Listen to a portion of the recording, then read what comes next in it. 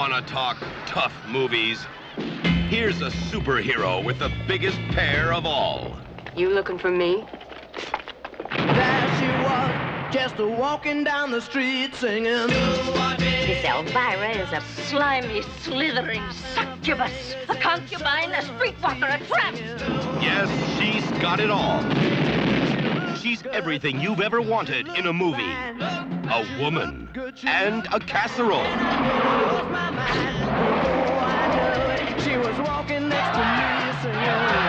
You'll see lots of weird romance. Waving my hand just as natural What's that perfume you're wearing? Super unleaded. Don't smoke. Loads of drooling madness. We walked on to Ew, I hope you change the sheets. just a little. Hey, Elvira, we got us a couple more volunteers. Great. Just grab a tool and start banging. A whole gang of awesome monsters. We're so happy and that's how we I'm bad, Jamal, you know it.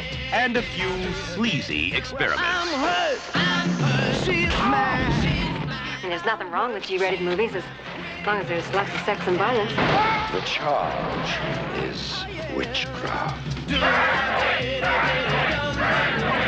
ought to have one of these every year. See Elvira. As Elvira, Mistress of the Dark. But if they ever ask about me, tell him I was more than just a great set of... It's the greatest double feature of all time.